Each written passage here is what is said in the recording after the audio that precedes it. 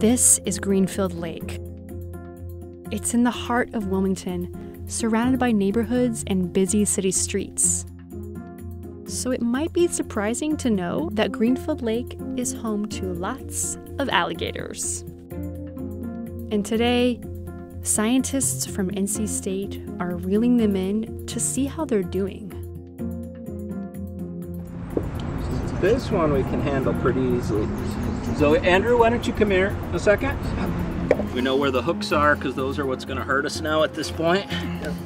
He is, he's got a lot of these open wounds Mhm. here and he's A lot of little skinny. He is pretty He's skinny. not very healthy. So if you wanted to come in here, these are some of the phenotypes that we've noticed here with the higher pressure is these infections. Alligators usually don't have infections. The animals and people living in the Cape Fear River watershed are still haunted by GenX, a pollutant that a chemical manufacturing company released in the water for decades. GenX is part of the PFAS family, a group of chemicals that scientists are sounding the alarm on. They're called forever chemicals because they don't break down in the environment and they are in tons of consumer products, from Teflon pans to waterproof boots to makeup. The alligators at Greenfield Lake are downriver from the plant that manufactured and released those chemicals for years. And that's why Scott and his team are checking on them. We're looking at levels of PFAS and looking to see if there's any health effects on the alligators. Alligators are a really great model for us. They have immune system that's very similar to humans. They've been in the water now since the beginning of PFAS manufacture and discharge in North Carolina, and we think that's a really good historical model to, to look at for potential health effects.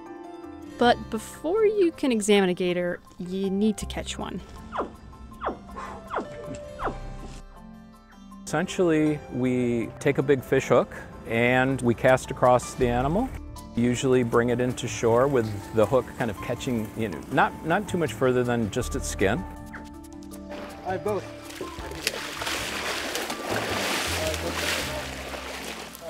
Quickly secure their jaws. We can take a blood sample and then have them released usually within 10 or 15 minutes. Uh, one of the key things that we do is actually minimize the stress. So we work very quickly. You could imagine that if an animal is caught in a trap, that could really increase the stress of being restrained and all of this. So we try to avoid that. You're so big, I know.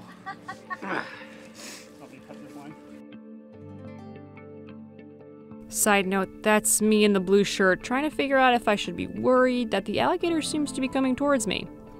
It all worked out. Alligator blood can tell scientists how much PFAS chemicals are in the water and how gators are responding to them.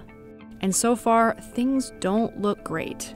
I think one of the scariest things for me was seeing the really young juvenile alligator where he had wounds that hadn't healed and knowing that alligators wounds normally heal very very quickly you know that there's something wrong especially for a young alligator. Aaron and PhD student Michaela Foster want to compare the levels of PFAS in the alligators at Greenfield Lake to the gators at Lake Waccamaw, a more rural lake that isn't directly downstream from the chemical company. And so we're seeing much higher levels in the alligators that are near the point source as we would expect. The animals at our exposed sites are in poorer condition than those that are uh, have the actually much lower uh, exposure, the ones at Lake, Lake Waccamaw. Of course, it's not just alligators that are reacting to PFAS exposure. These chemicals are ubiquitous in the US.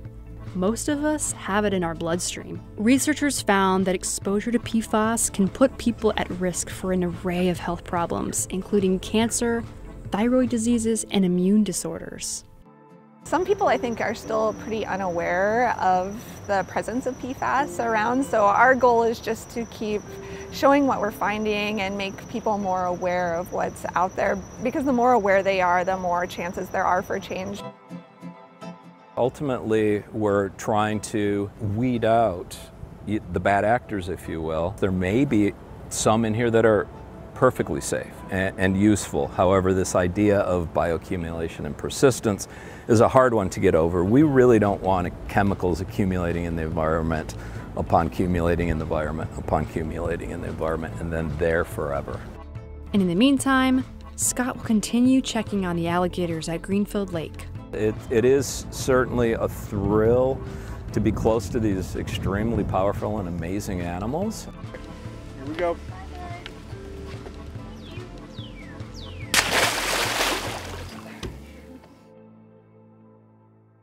Thanks y'all for watching this video, and if you want more where that came from, check out our channel, Sci NC.